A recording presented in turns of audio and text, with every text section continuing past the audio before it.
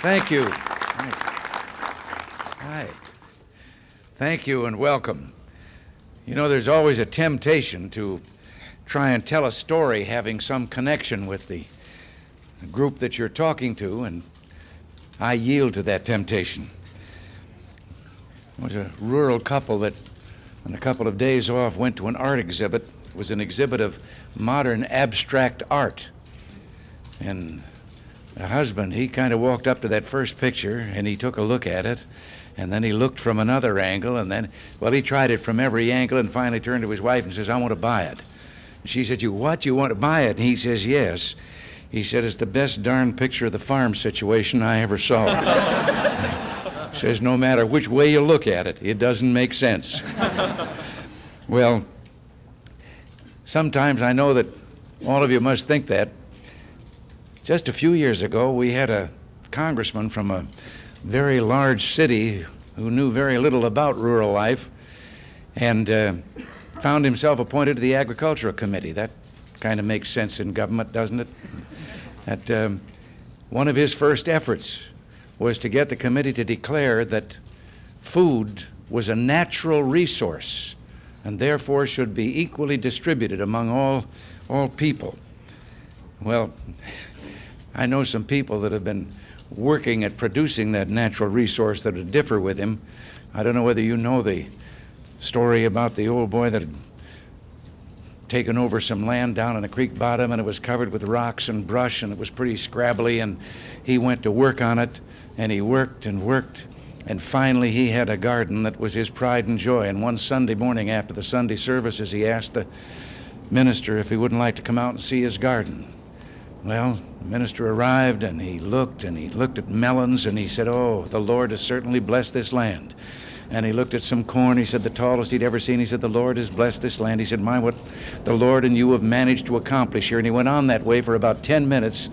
And the old boy finally said, Reverend, I wish you could have seen this when the Lord was doing it by himself. well, I want you to know that in this administration, we're trying our hardest to bring more common sense, at least from government's angle, to the farm situation. In fact, one of your own members is our Secretary of Agriculture, Jack Block. Jack became a green hand in the Knoxville, Illinois chapter of FFA back in 1949, and my bet is that he can still get into his blue jacket.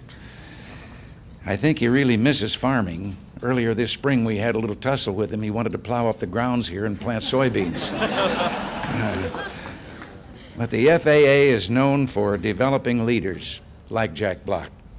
And your building our American Communities program, which recognizes thousands of youth who take the lead in improving their communities, is just such an example. The FFA embodies the best of the volunteer spirit. And there are so many instances that I could cite here. Flagler County, Florida. An FFA chapter set out to reduce beach erosion in a dune area by planting vegetation. The result was an estimated 95% reduction in erosion. In Glen Gardner, New Jersey, the chapter landscaped a newly renovated library. In Howells, Nebraska, the FFA constructed a basketball court and scoreboard and repaired picnic tables and benches in a local park. In Elma, Washington, the FFA chapter built nearly eight miles of fire trails and planted over 219,000 seedlings. I could go on with these kind of stories. I love them and I'd only be citing FFA examples.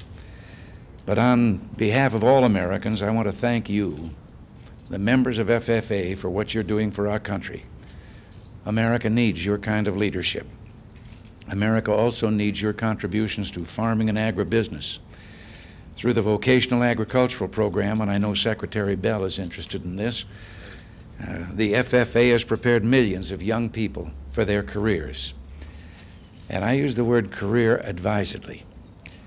Uh, few occupations go back further in history uh, than this one. As a matter of fact, in ancient Rome, Cicero had this to say about the occupation that you will someday pursue. Of all occupations from which gain is secured, there is none better than agriculture, nothing more productive, nothing sweeter, nothing more worthy of a free man. will you of the FFA fulfill that ideal? And as you go along in your careers, I just want you to know that you carry not only my genuine respect and that of millions and millions of your fellow citizens, but our heartfelt best wishes and appreciation. God bless you and thank you very much for being here.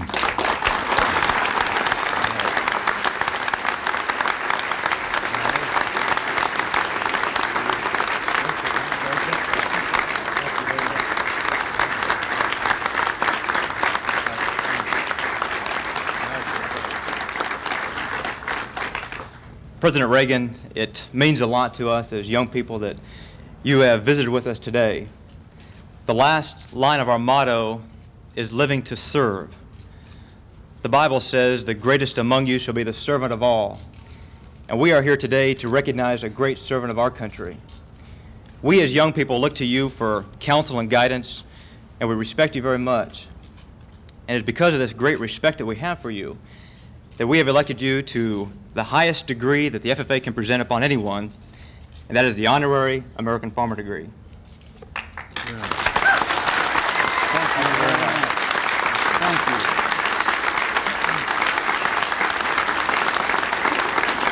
Thank you all. Thank you very much.